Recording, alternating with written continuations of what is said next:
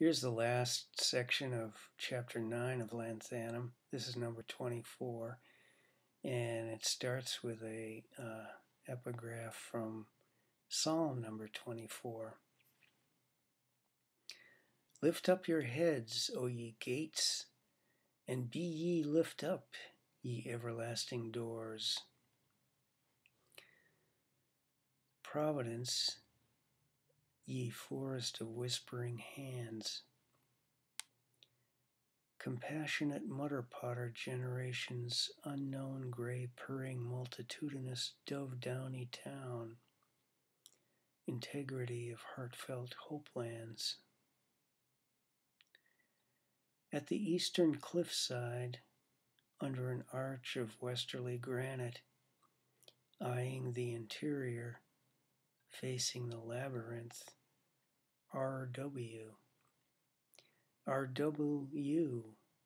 W.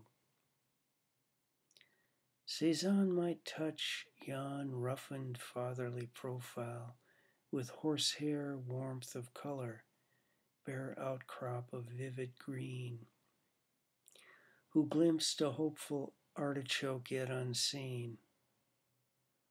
Those who'd impose belief by force have never known my companionable Lord.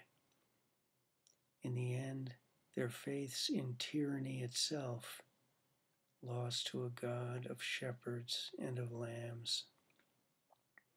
Thy rod and thy staff they comfort me, not destroy, defend, affectionate friend.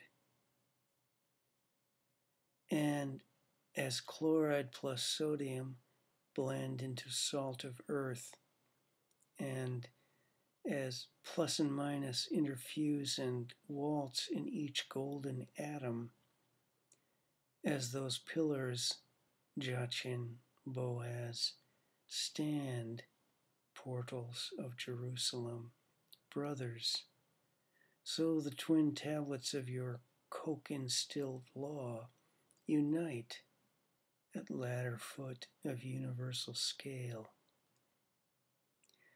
Nature's donated golden rule of civil commonweal, simply fair, kind, and true.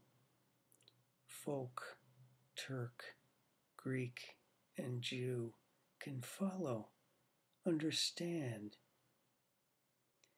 And if they climb yet further, might take hold of that steel crucifix anchor, as he foretold. Bell's pain carved gate, Height's helping hand.